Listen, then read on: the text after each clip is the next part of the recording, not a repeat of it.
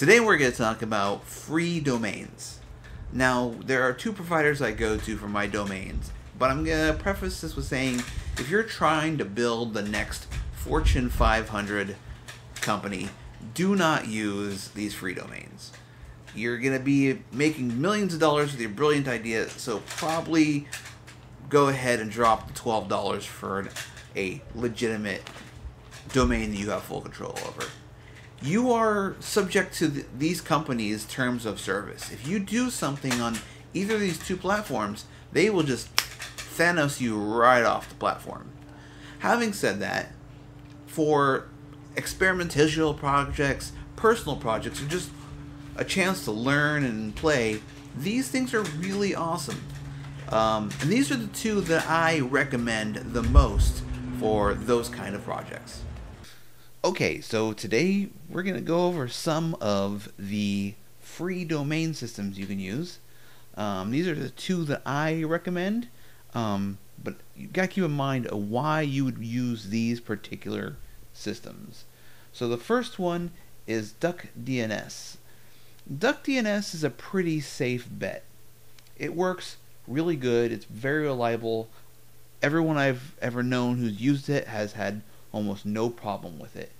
Um, the nice thing about it is DuckDNS um, gives you uh, five five domains that you can use for free if you don't mind the .duckDNS uh, subdomain.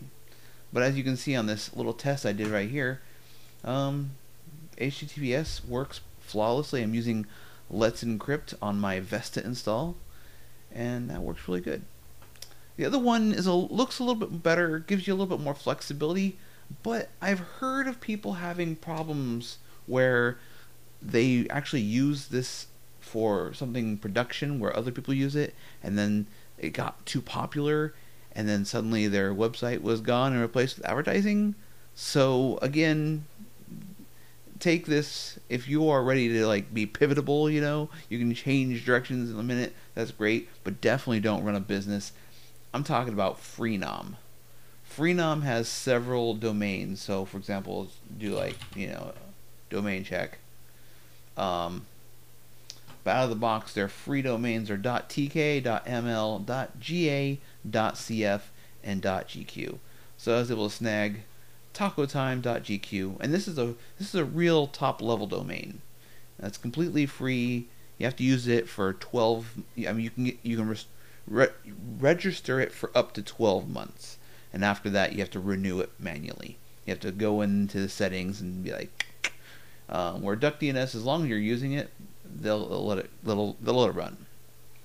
You kind of set it once and forget it. But Freenom, they want you to be on it. You can pay money to not have to do it again, and of course they sell regular domains too.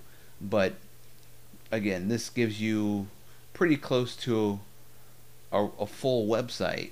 Um, this is tacotime.gq. I'm probably going to run my Nextcloud instance on this or something similar to it uh, because that's funny.